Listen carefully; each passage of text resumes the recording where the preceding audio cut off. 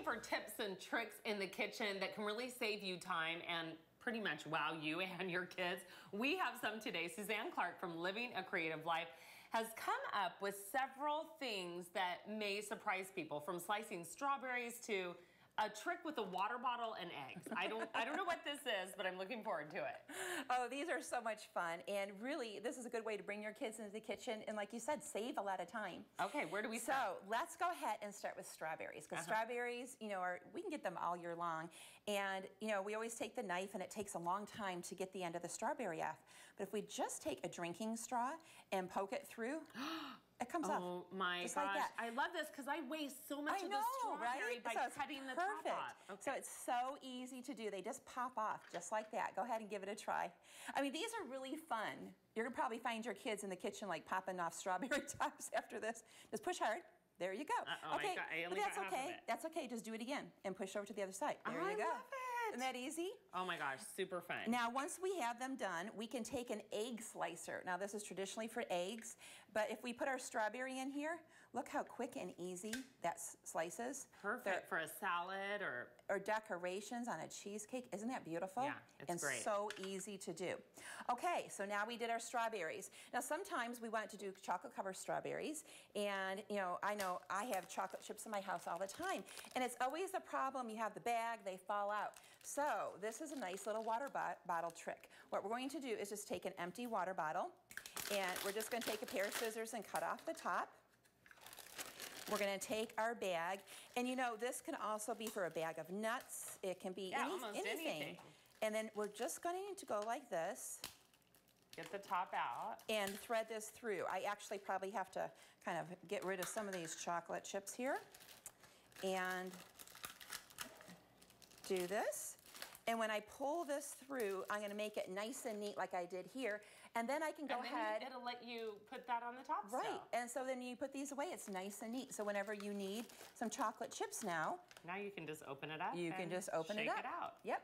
All so right. it's nice and easy, kind of keeps your pantry a little neater, a little mm -hmm. cleaner. Okay, now the next thing I want to show you is how to separate egg yolks. Now a lot of people struggle using the eggs, so I'm going to show you something really fun. And I actually saw this on YouTube one day, and I said, oh, that can't work. All right, take a good close-up of this. Okay, so there's the egg. Right. You have a water bottle. Clean water bottle. And you said all you have to do is? Just go ahead and squeeze it, and then put it on the egg yolk, and let go, and look at that. Oh my gosh. Is that That's crazy? Great. And I could actually do this back and forth and you think that the egg yolk would, would you know, break up.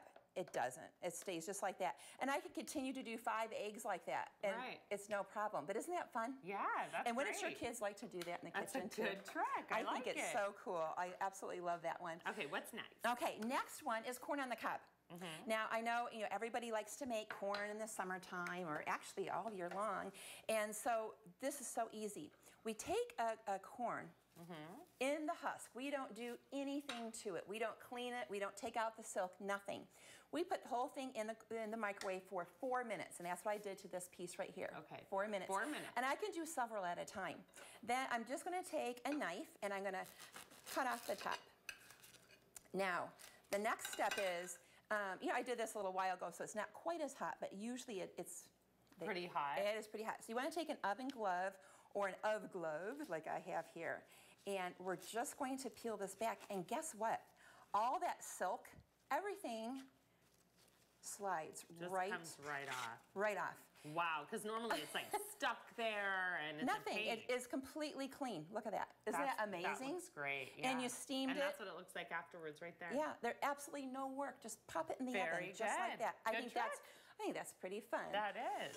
Okay, so next um, we are going to talk about how we can do an easy way of preparing cake pans. Okay. Now, I don't know about you. I, I, go, I do go through a lot of butter. Mm -hmm. And instead of throwing those butter wrappers away, what I do is I put them in a Ziploc baggie and put them in my freezer. Now, you might say, why in the world do you do that? But when it comes time, when you have a recipe that says you need to grease your pan mm -hmm. and butter it, look at, I have my butter here already on the wrapper. This is all I have to do oh, now. great. So this is something Takes that two seconds. Uh, yeah, and this is something I would normally throw away, and right. this is a good way to recycle and reuse things in the kitchen. Love it. Isn't that fun? Mm -hmm. So now we're we're good to go with that. So, Okay, And the next thing you have is has something to do with an ice cube tray. well, I have I have a gar- garden, but I know a lot of times people will buy fresh herbs in the grocery store, and they don't want to just throw them away if they have too many. So what I did is I take my my extra basil, like I had abundance of this, and I'm just going to put it in ice cube trays. And Destry, do you want to sprinkle some? I had some uh, uh, Sure. onion, uh, bell peppers. And then what I'm going to do is I took my Challenge butter. I just took a stick of unsalted. I could use the European butter because Challenge makes European butter as well. Okay. Um, and I'm just going to take this and to preserve these and make this easy, I'm just going to take a turkey baster. I know people think, oh, what else am I going to do with a turkey baster? Well, this is it.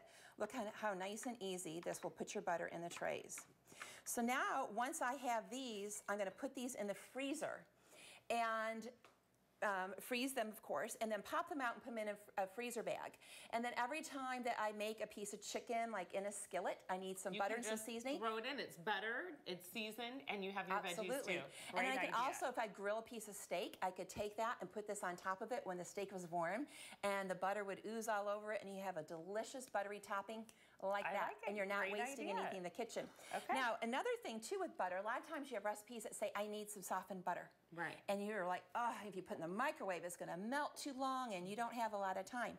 So this is what you do. You grate your butter. Again, I took my challenge butter and I'm gonna take it, take the wrapper and use it for a handle. And I'm just going to do this. And it's so easy. It's not like it takes any time at all. And now I have all this grated butter. Look at that. Oh wow! And now it's softened Who butter. knew? Not only can I can I do that, but let's say let's say I'm making biscuits or you're doing something that requires like a, a to really incorporate the butter. You do this for biscuits or pie crust. Bam! It's really quick and easy. You don't have to do all the mixing. Then, if you have your corn on the cob at a party, you can take this and you can sprinkle the shreds. And you know this this corn's not super hot right now, but That it can just melt right it just there. melts because you know how you have a hard time like what are you going to do how are you going to serve the butter for the for the corn Yeah. and you can just sprinkle it on and it's kind of fun that way All right, a lot of great tips today. You taught me a lot of things. I didn't know the strawberries I'm using today when I get home. And of course, for more recipes and tips, just go to livingacreativelife.net.